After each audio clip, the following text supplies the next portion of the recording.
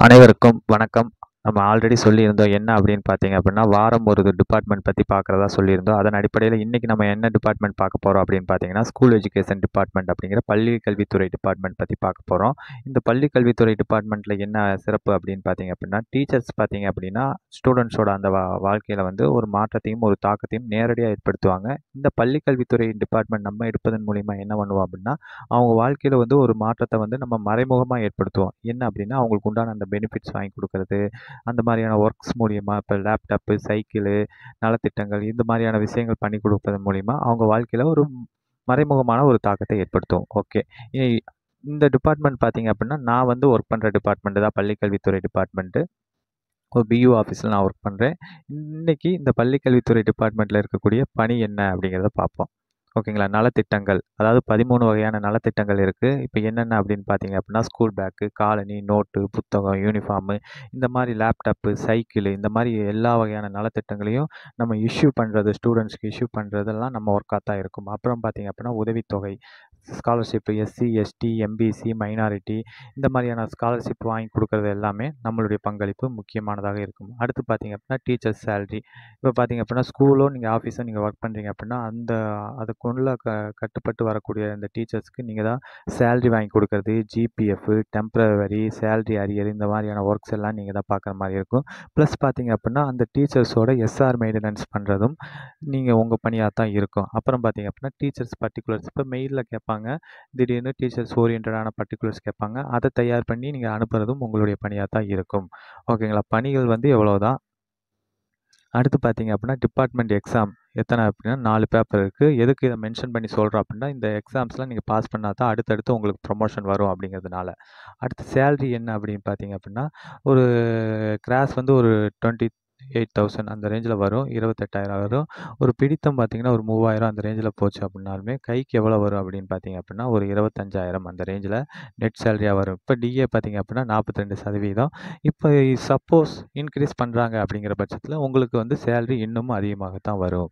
Okay. அடுத்து பார்த்தீங்க அப்படின்னா ட்ரைனிங் என்ன அப்படின்னா பவானி சாகர் ட்ரைனிங் முதல்ல ட்ரைனிங் பவானி சாகர் ட்ரைனிங் எப்படின்னா பவானி சாகரில் தான் போட்டுக்கிட்டு இருந்தாங்க. இப்போ எப்படி போடுறாங்க அப்படின்னா ஓன் டிஸ்ட்ரிக்ட்லேயே போட ஆரம்பிச்சிட்டாங்க. அந்த டிஸ்ட்ரிக்டில் போட்டு எக்ஸாம்ஸ் வைப்பாங்க. அதில் நீங்கள் கிளியர் பண்ணணும்.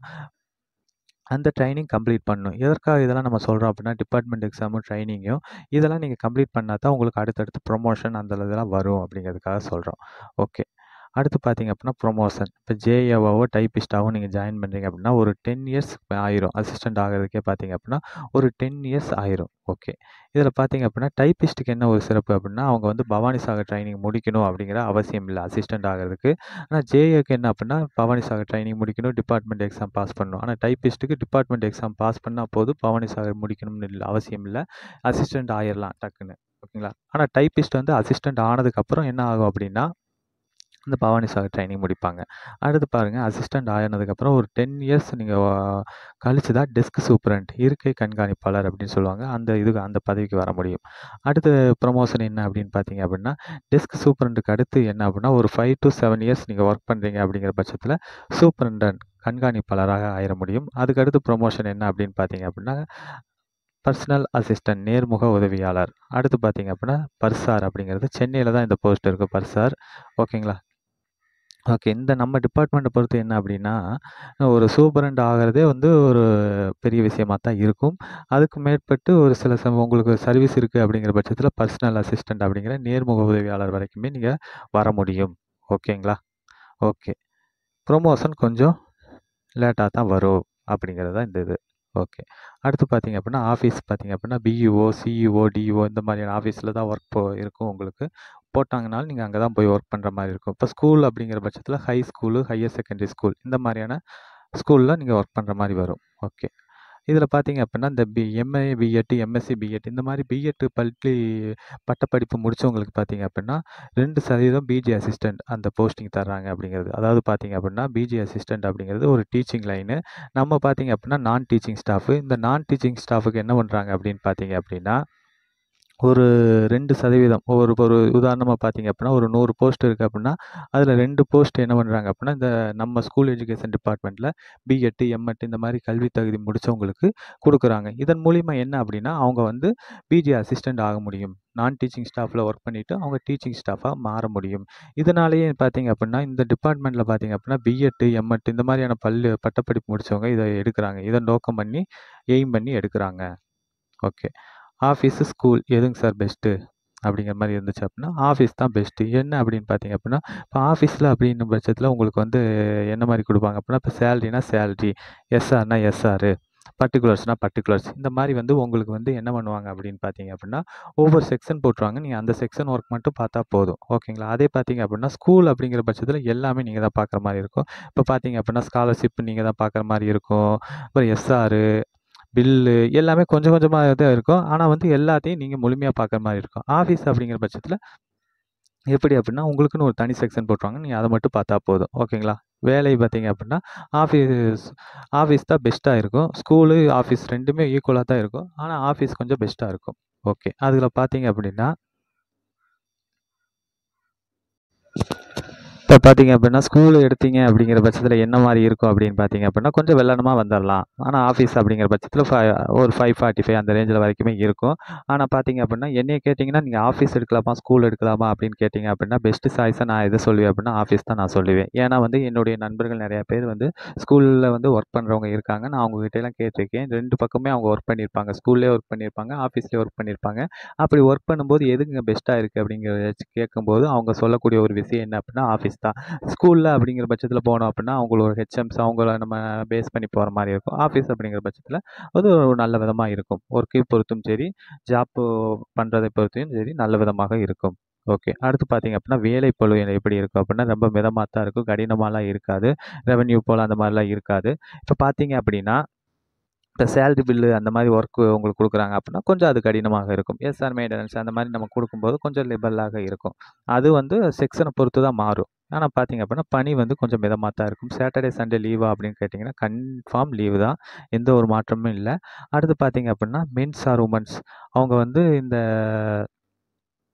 இந்த இரண்டு பேற்றுக்குமே இது ஏற்றத்துறை இதில் பார்த்தீங்க அப்படின்னா, உமன்ஸ் வந்து இந்த டிபார்ட்மெண்ட்டை ரொம்ப விரும்பி எடுப்பாங்க. என்ன ரீசன் அப்படின்னா, அவங்களுக்கு ஓன் டிஸ்ட்ரிக் கிடைக்கும். சொந்த ஊர்லேயே பணிபுரியலாம். இந்த டிபார்ட்மெண்ட் எடுத்தீங்க அப்படின்னு பட்சத்தில் என்ன ஆகும் அப்படின்னா, சொந்த ஊரில் நீங்கள் பணிபுரிவதற்கான வாய்ப்புகள் மிக மிக அதிகம். பக்கத்தில் உங்களுக்கு கிடைக்கும். நியரஸ்ட்டாகவே கிடைக்கும். எந்த மாதிரி ஒரு எந்த மாதிரி நியரஸ்ட்டாக கிடைக்கும் அப்படின்னா, ஒரு 10 டூ 50 கிலோமீட்டர்ஸ் அந்த ரேஞ்சில் உங்களுக்கு நியரஸ்ட்டாக கிடைக்கும். ஓகேங்களா? ஒர்க்கும் பார்த்தீங்க அப்படின்னா, உங்களுக்கு ten to five forty AM இந்த மாதிரி தான் இருக்கும். ஒரு 10 மணிக்கு போகிறோம் அஞ்சே முக்காலோட முடிஞ்சது அப்படிங்கிற மாதிரியான ஒர்க்காக தான் இருக்கும். இந்த மாதிரியான பல ப்ளஸ் இருக்கிறனால என்ன பண்ணுறாங்க அப்படின்னா, கேர்ள்ஸ் வந்து இதை வந்து இந்த டிபார்ட்மெண்ட்டை வந்து விரும்பி எடுக்கிறாங்க ஓகே.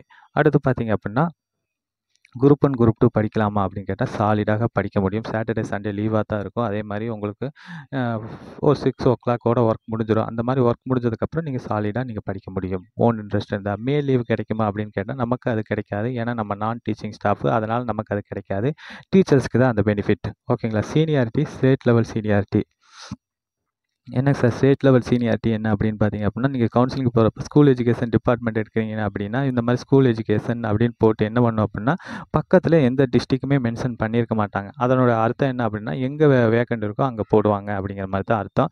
ஆனால் மேக்ஸிமம் பார்த்தீங்க அப்படின்னா, ஸ்கூல் எஜுகேஷன் டிபார்ட்மெண்ட் பார்த்தீங்கன்னா, உங்கள் சோனோன் டிஸ்ட்ரிக்டே கிடைப்பதற்கான அதிகமான வாய்ப்புகள் இருக்குது ப்ளஸ் பார்த்தீங்க அப்படிங்கிற பட்சத்தில் இந்த ஸ்டேட் லெவல் சீனியாரிட்டி அப்படின்னா என்ன அப்படின்னா, டிஸ்ட்ரிக் சீனியாரிட்டி அப்படின்னா, ஒரு 30 பேர் டிஸ்ட்ரிக்ட்குள்ள இருக்காங்க அப்படின்னா, அந்த முப்பது பேர்த்துக்கு மட்டும்தான் முன்னுரிமைப்படுத்தி, அந்த முப்பது ரேங்கிங்குள்ளே இருக்கிறவங்களுக்கு முன்னுரிமைப்படுத்தி அடுத்தடுத்து ப்ரொமோஷன் அந்த மாதிரி கொடுப்பாங்க ஆனால் ஸ்டேட் லெவல் சீனியாரிட்டி அப்படிங்கிற பட்சத்தில் ஸ்டேட்டையே கன்சிடர் பண்ணுவாங்க. இப்போ உதாரணமாக உங்களுக்கு நீங்கள் ஒரு ஆயிரம் நபர்கள் இருக்காங்க ஸ்டேட்டில் நீங்கள் தொள்ளாயிரத்தி ஐம்பதாவதாக இருக்கீங்க அப்படின்னா, 949 வரைக்கும் உண்டான அந்த ப்ரொமோஷன் அது ஓரியண்டான விஷயங்கள்லாம் முன்னுரிமை கொடுத்துட்டு தான் 950 உங்களுக்கு வருவாங்க. இதுதான் ஸ்டேட்டுக்கும் சி டிஸ்ட்ரிக்ட் லெவல் சீனியாரிட்டிக்கும் உள்ள வித்தியாசம். ஓகே. அடுத்து பார்த்தீங்க அப்படின்னா, ட்ரான்ஸ்ஃபர்.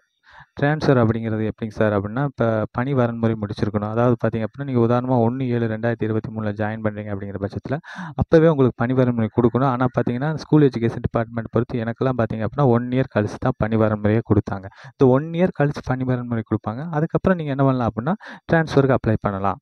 இதனால் சீனியாரிட்டி பாதிக்குமா அப்படின்னு கேட்டிங்கன்னா கண்டிப்பாக பாதிக்காது. ஸ்டேட் லெவல் சீனியாரிட்டியை பொறுத்து என்ன ஆகும் அப்படின்னா சீனியாரிட்டி கண்டிப்பாக பாதிக்காது. ஓகே இந்த வீடியோ எப்படி இருந்ததுன்னு சொல்லுங்கள் அதே மாதிரி ஏதாவது டவுட்ஸ் இருந்தாலும் நீங்கள் கமெண்ட் பண்ணுங்கள் நான் ரிப்ளை பண்ணுறேன் இது வரைக்கும் நீங்கள் சப்ஸ்கிரைப் பண்ணாமல் பார்த்துக்கிட்டு இருந்தால் சப்ஸ்கிரைப் பண்ணிட்டு பாருங்கள் தேங்க்யூ